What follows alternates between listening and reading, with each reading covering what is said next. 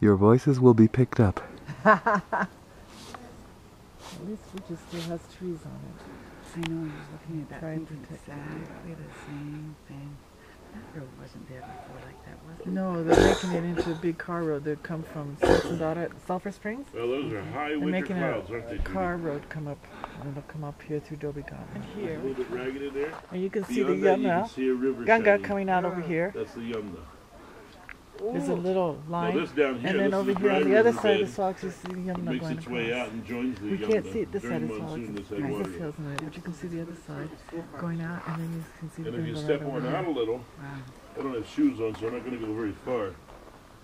It's not quite clear enough, but over in that V, beside Witch's Hill, you can sometimes see the reflection on the Gunga, where it comes out from Tehri Dam area. Oh, this is Yamuna and the Ganga. Yep. Pretty special, aren't we? Yeah. We get both of them.